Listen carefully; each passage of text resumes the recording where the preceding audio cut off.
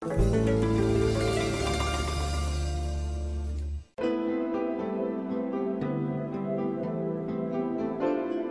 Moldovei este ideal pentru cei care preferă să-și petreacă timpul în senul naturii.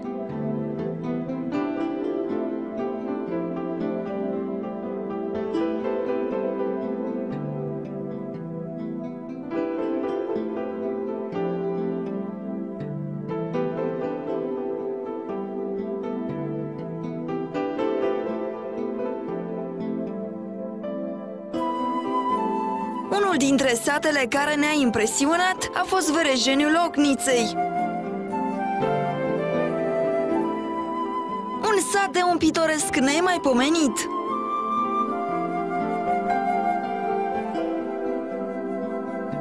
Aici găsești un areal de un contrast puternic, o multiplă întâlnire a unor forme variate de relief.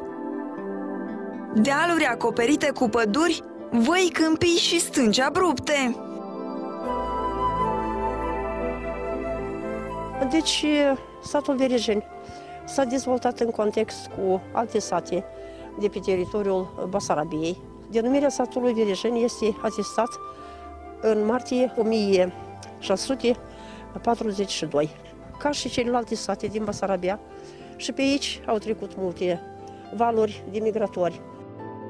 Cândva printre aceste stânci mărețe, pe malul Nistrului, în mijlocul unei brățări verzi de pădure, a existat o mănăstire.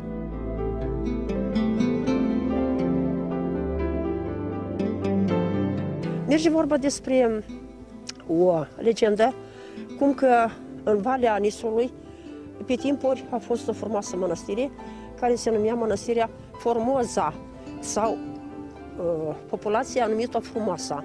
Și anume în jurul acestei mănăstiri uh, și a fost uh, format primul sat. Nu doar mănăstirea a dispărut, și satul a fost devastat de câteva ori de către tătari, chiar dacă acesta s-a mutat de nenumărate ori de pe un loc pe altul, fiind în căutarea liniștii și a păcii.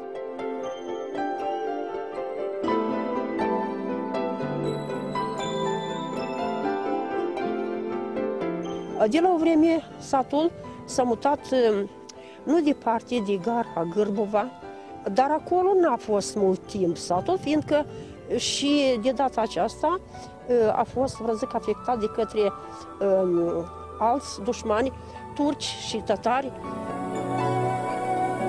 Până de curând se mai păstrase câte ceva din Sfântul Lăcaș. Astăzi însă tot ce a mai rămas nu este decât o legendă și o cruce mică, semn că acel loc este binecuvântat de Dumnezeu.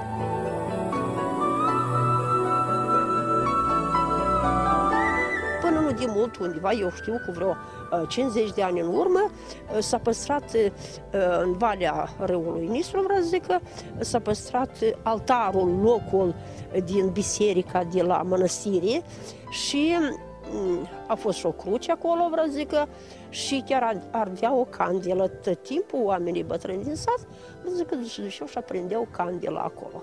Tot ce rămas de la mănăstire a fost dus la Iași, a fost dus, vă zic, cărțile, tot și a fost găsit.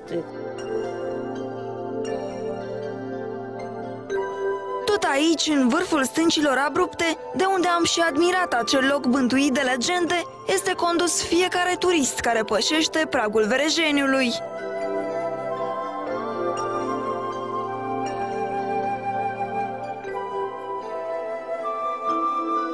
E locul în care te poți odihni având la picioarele tale peisaje desprinse din poveste, în care tu ești eroul principal.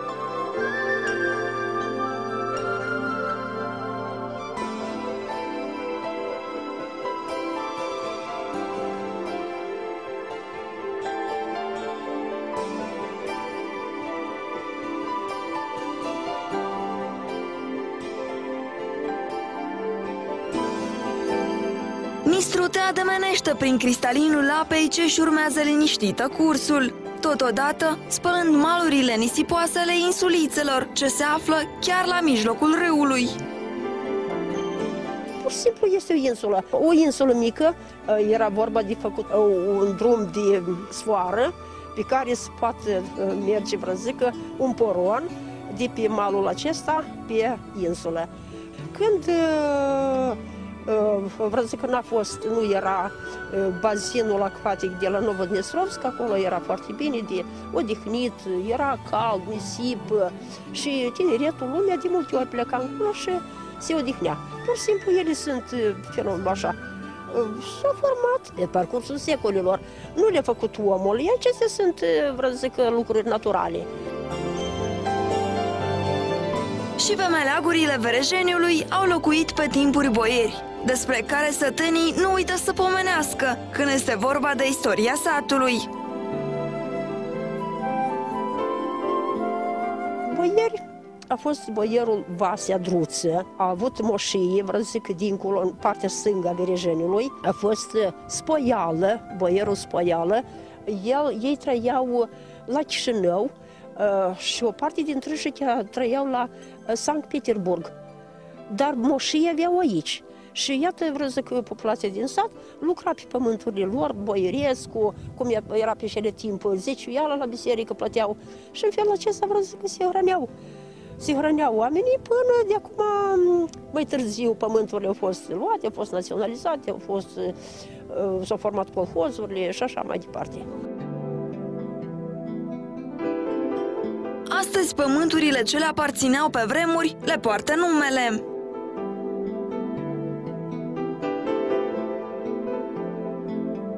E ca aici, nu departe de mine, este râpa adâncă, așa îi spune, și râpa lui Spoială. Aceea lui Spoială, fiindcă acolo au fost moșiile lui Spoială, boierul Spoială, sus pe deal. Dar asta e râpa adâncă, fiindcă e adâncă, așa e pus numele lumea și e adâncă. Și aici sunt um, niște pietre mari, pe timpul războiului, râpa mai era și un loc de adăpost pentru săteni.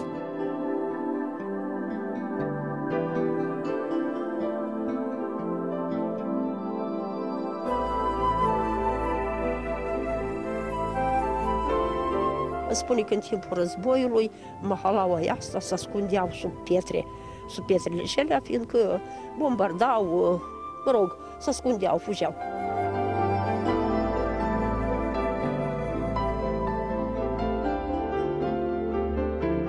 Mahalaua se spune în cot, face un cot satul, un, o cotitură și îi se spune în cot, dielniță, Adică acolo teritoriul este mai ridicat. E cam partea asta este dealul care se numește movilă, fiindcă iar e mai ridicat.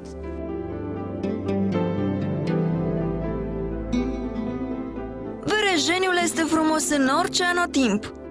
Doamna Veronica ne povestește cu mare entuziasm schimbările vizibile ale naturii ce au loc în fiecare sezon și se consideră norocoasă pentru că are posibilitatea să admire zi de zi frumusețea naturii din Verejeni. Ne mândrim cu oamenii din sat și cu așezarea frumoasă a satului, că dumneavoastră ați venit acum în toamnă, dar să vedeți primăvara. Iată, eu mă uit la păduricea aceasta din preajmă și interesant că eu observ cum începe să înverzească uh, din vale, din jos, până, până, până în sus să ridică. Și cum începe să se ofilească din sus în jos.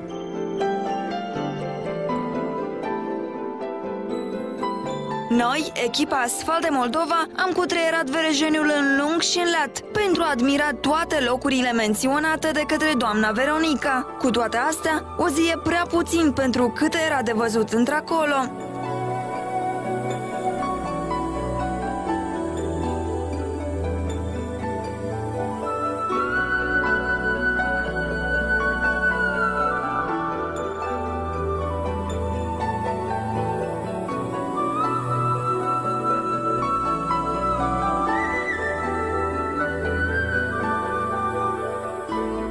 Până și casele bătrânești din satele vecine, construite în stil tradițional moldovenesc, acoperite cu stuh sau oale, îți cuceresc privirea. Plus la toate locul pe care și l-au ales sătenii să-și construiască casele este uimitor de frumos.